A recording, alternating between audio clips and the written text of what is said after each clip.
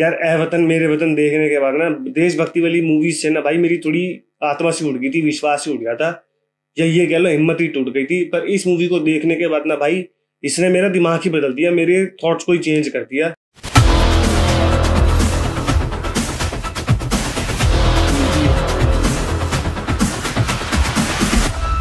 Hi guys मैं हूँ कृष्ण और स्वतंत्र वीर सावरकर मूवी रिलीज़ हो चुकी है। जिन्होंने नहीं देखी, जाके देखो। इसमें रणदीप हुड्डा बने वीडी सावरकर, यानी कि विनायक दामोदर सावरकर, जो कि मेन लीड में है, और अंकिता लोखांडे बनी है, यमुना बाई, जो कि उनकी वाइफ है।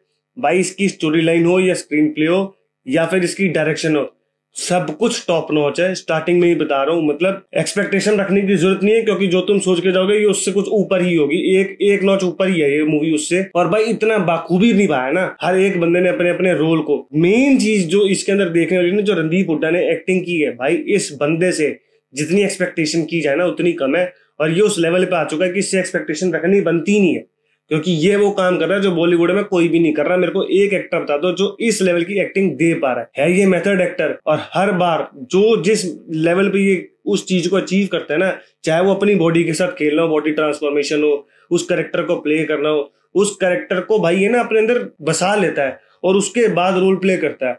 मतलब इस एज में कह लो या इस तरीके से कह लो, भाई पता ही नहीं क्यों, क्या, कैसे करके बॉलीवुड के ये काम नहीं करते, वो इतना कमा लेते हैं, जो बंदा ये सब कर रहा है, वो नहीं कमा पा रहा। और ये पिक्चर पता नहीं मार्केट में अब चली नहीं है, पर पिक्चर इतनी बढ़िया है ना मतलब अगर आप देखो तो आपको पता चलेगा कि भाई ये मस्ट वॉच वाली मूवी है, बस थोड़ी सी एक ही चीज़ की दिक्कत है कि फ़र्स्ट हाफ़ में जो ये मूवी थी, ये थोड़ी सी स्लो थी सेकेंड हाफ़ में ये बराबर कर चुकी थी, ठीक है? और इसने स्टार्टिंग से लेकर एंड तक जो कनेक्शन बिठा रखा था ना वो थ्रू आउट बैठा ही हुआ था। तुम्हारे को एक इमोशनल राइड पे लेकर जाएगी ये मूवी जिधर तुम हर एक इमोशन को फील करोगे, चाहे वो गुस्सा हो रेज हो, कि ऐसा क्यों हुआ, वो सब हर एक चीज़ तुम फील करोगे। पर्टिकुलरली अगर सीन बताऊँ तो भाई जो ये जेल वाला सीन है, जिसके अंदर इनको जेल हो जाती है, काला पानी वाली जो सजा होती है, वो वो वाला जो सीन है, उसके अंदर तुम देखोगे ना, तुम्हारे अंदर ना कई सारे मिक्सड इमोशंस आएँगे उस चीज़ को देख के।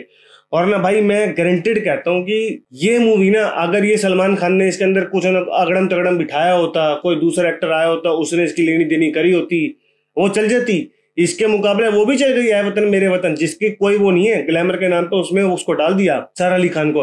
पर ये बेचारी मूवी पता नहीं क्यों नहीं चली। भाई पर्सनली ना, मेरे को रणदीप हुड्डा अच्छे लगते हैं, इसलिए नहीं कि वो इंसान बढ़िया है, वो इसलिए क्योंकि उनका काम भी बढ़िया है। और ये काम वो है जो अप्रिशिएट करना बनता है, जिन्होंने नहीं देखी, भाई, ज़रूर जाके देखना। इनकी ये मूवी ना, भाई पर्टिकुलरली स्टैंड आउट करती है। बाकी कई सारी मूवीज़ के मुकाबले, ठीक है?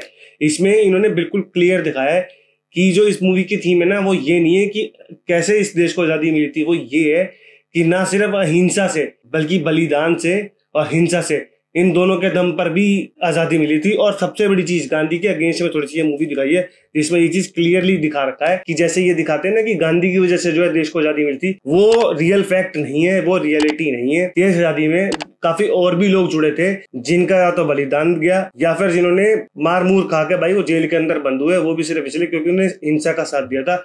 और एक ये पता चल गया था कि ये डेंजरस मैन है अपने आप में, वीर सावरकर। जिसके ऊपर ये मूवी बनी है। तो मतलब भाई ये मूवी देखोगे ना, इसके साथ तुम्हारे को दो चीज़ों का फ़ायदा होगा। एक, तुम्हारी हिस्ट्री स्ट्रॉन्ग हो जाएगी। दूसरा, तुम्हारे फैक्ट्स क्लियर हो जाएँगे।